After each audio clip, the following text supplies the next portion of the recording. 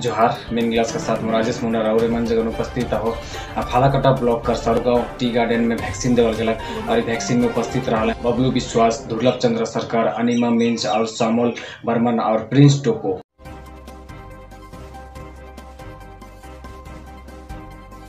और कोविड कर वैक्सीन के 45 साल कर ऊपर कर देवल गलक। और वैक्सीन में 150 से 200 टी गार्डन वर्कर और अन्य गाँववासी मन के भी देवल गलक।